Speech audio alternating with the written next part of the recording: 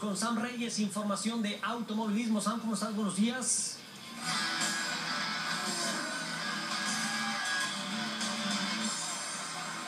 Muy buenos días amigos, Jorge, qué gusto estar con ustedes y la verdad es el gusto de poderles traer a un piloto eh, eh, eh, pues en lo que venimos haciendo, ¿no? Presentando a los jóvenes que van creciendo en el automovilismo y quiero presentarles en esta mañana a Fernando Urrutia, un piloto de la Latam Challenge Series que tiene 17 años de edad y ya está corriendo en autos tipo Fórmula, Jorge. Entonces, esto eh, te está dejando claro lo que estos pilotos ya están empezando a hacer a esta edad tan corta, ¿no? Que es eh, realmente muy interesante. Fernando, bienvenido, muy buenos días eh, a este superestadio. Y bueno, se dice muy fácil, pero así como lo estamos comentando, subirte a un Fórmula 2000 ya con alas, ya la categoría grande, a los 17 años, ¿qué significa para ti? Bueno, primero que nada, buenos días. Este, es un cambio muy fuerte después de kart subirte un fórmula. Este, de hecho, lo que yo estoy haciendo es más que nada aprender y sacarle provecho a los pilotos que ya tienen mucha más experiencia este año para pues salir con mayor experiencia, salir con este con más sabiduría sobre qué es el coche y cómo se comporta y todo para poder catapultarme a otras categorías. Fíjate que lo interesante aquí es que independientemente de que ya manejaste karts, el subirte a un fórmula también eh, te entrega retos muy importantes, ¿no? En los karts estamos acostumbrados a que a lo mejor los escapes no están tan, eh, pues tan cercanos, ¿no? A ti, pero ya en un auto fórmula realmente el cometer un error te puede costar muy caro. Ya corriste el Autódromo Hermanos Rodríguez con buenos resultados. Así es. Corriste Monterrey también con un buen resultado y bueno, pues estás quinto del campeonato. Así es, vamos en quinto del campeonato. En México quedamos en tercer lugar en la segunda carrera. Este, eso nos colocó en tercer lugar general de la tabla. El mejor novato colocado.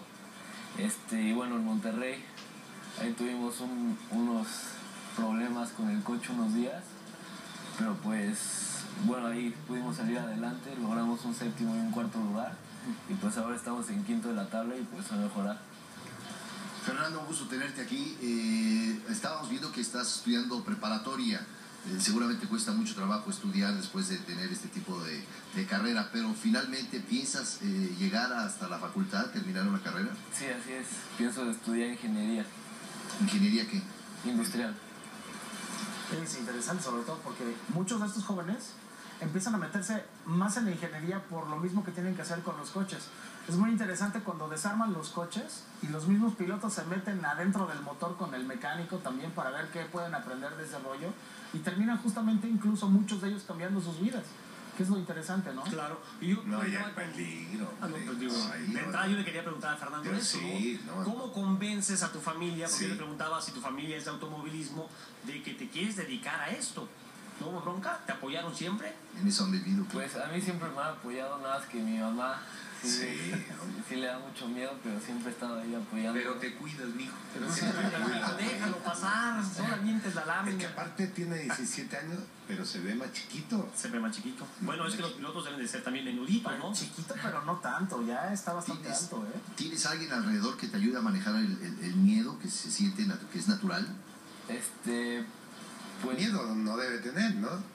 a mí la verdad no me da miedo subirme al coche ni nada. De hecho siento, o sea, me gusta mucho. Emoción, sí. Le da más miedo cuando va con su papá, dice. o cuando va va a de presentar el copiloto, examen. o cuando va de copiloto con la mamá. Oye, yo a Fernando también le, le platicaba antes de entrar al aire que quién lo ayuda con los patrocinios, porque de repente pues sí, Sí. empiezas de cotorreo y pues te pagan el cara ahí el fin de semana los papás, pero ya cuando es un tema ya más profesional, pues hay que invertir una lana, Fede, ahí cómo le hacen. Así es, este, bueno, es ir tocando puertas a patrocinadores. Lo que ha faltado mucho ahora es que empresas crean este, en el futuro del, en, el auto, en el automovilismo de México. Este, hay, muy, hay muy pocas empresas que creen o sea, en los pilotos y que nos apoyan. Uno de ellos es Home Depot, como Cablecom este, y Escudería Telmex, que siempre han estado ahí apoyándome y pues bueno, eso es lo que hace falta, ¿no? Empresas que crean, porque sin, sin patrocinadores pues no podemos llegar muy lejos. Pero ustedes terminan siendo todólogos, ¿no? Ya decía Sam en cuanto a la ingeniería y meterte ahí con el mecánico, pero también incluso para este tipo de relaciones comerciales, ustedes son los que tienen que ir a tocar puertas. O sea, no hay especialistas, yo para los chavos que están estudiando pues, eh, eh, alguna carrera relacionada con el deporte, pues se necesitan especialistas que realmente los liberen a ustedes de esas funciones, Un ¿no? representante, ¿no? Alguien que, que les haga la chamba, porque pues, los muchachos pueden distraer en su preparación para ir a, a hacer citas con los posibles patrocinadores. Fíjate que algo, algo que pasa, Jorge, creo que así, es que los mismos que hacen la prensa de los equipos muchas veces incluso tienen que hacer ese tipo de funciones de jalar patrocinios incluso para los pilotos. Porque incluso hay gente que son periodistas que también tratan de apoyar a los pilotos, pero no puedes hacer la nota del evento y aparte buscar un patrocinio. Entonces sí se requiere una persona que esté exclusivamente dedicada a ser el relacionista del piloto. Sam, ¿cuál es la edad promedio para llegar a Fórmula 1? A Fórmula 1 ya deberías de estar pisando los coches por ahí de los 22 años y hacer pruebas a los 20, 21. O sea que le queda todavía. Todavía tiene tiempo de, de hacer lo suyo. Ahora, aquí lo importante es que ya tiene por lo menos ya lleva cuatro carreras en la LATAM después de haber estado en los karts. Y de ahí en adelante, bueno, pues va a requerir el apoyo, seguir compitiendo. Ya este va a ser su primer año completo, entonces será bastante importante. Pues la verdad te deseamos mucho éxito, ¿verdad? Yo creo que lo que sigue que sería Sam, algún, eh, alguna serie en Europa o Estados Unidos. Lo más recomendable es que se vaya a Europa porque bajo el tipo de, de, autos que está manejando y el tipo de competencia que está teniendo, el tipo de automovilismo europeo es el que mejor se le puede dar justamente para incrementar las habilidades que lo puedan llevar eventualmente a la GP3, a la GP2 y después a la Fórmula 1 en este sentido, ¿no? Nosotros en TDN estábamos transmitiendo la Auto GP que es muy parecido a los coches que él está manejando ahorita, que sería como que el primer paso siguiente. Oye, pero es dificilísimo, de 17 años que se vaya a Europa solo porque no le pueden acompañar padres. Pregúntale dónde anda Marquito Tolama. Y pregúntale a Checo Pérez también. O sea, hay que hacer ciertos sacrificios, desgraciadamente, y creo que estás de acuerdo con eso, ¿no? Sí, claro que sí. Hay muchos sacrificios, pero bueno, para mí todo va a valer la pena, ¿no? Porque es lo que más me gusta hacer. Además van a Europa y no creo que van a un hotel cinco estrellas. Marco no, Tolama nos platicaba que vive con, el, con el ingeniero, con el jefe de ingenieros, y pues obviamente se gana la chuleta todos los días ayudándole a, a la talacha ahí en el taller, ¿no? Sí. Y lo que decías, Jorge, ¿sabes quiénes sufren más? Las mamás. Yo que estuve en automovilismo mucho tiempo dirigiendo carreras, cuando ves a los papás emocionados con los niños, ves a las mamás sufriendo atrás de la reja, de no se vaya a pegar, que no le pase nada, etcétera, etcétera. Entonces, también digo, es un sacrificio familiar. Regañando al papá, pero tú que lo traes a esto, pudiéndolo llevar con el maestro Reynoso a jugar fútbol. Sí, ¿no? sí.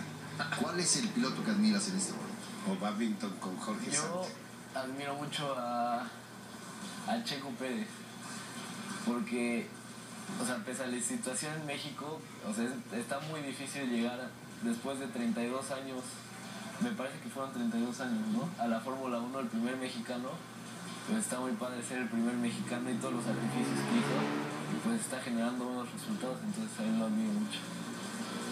Hay que aclarar que no es el primer mexicano de Fórmula 1, pero sí, sí tiene mucho mérito el Checo Pérez. Después de 32 años. Después de 32 años. 32 años. ¿no? Tiene razón. Sam Reyes, pues Señor. muchas gracias y Fernando, de verdad mucho éxito. Muchas gracias. Gracias por acompañarnos en el Superestadio Sam, gracias. Al contrario, muchísimas gracias y no se despeguen porque vamos a seguir con mucha noticia de lo que tiene que ver con la TAM Challenge Series que han estado corriendo ya, corrieron en el Autódromo Hermano Rodríguez, corrieron en Monterrey y próximamente les estaremos trayendo muchas más noticias. Oigan, vamos a las inmediaciones del Estadio Azul, ya está liderando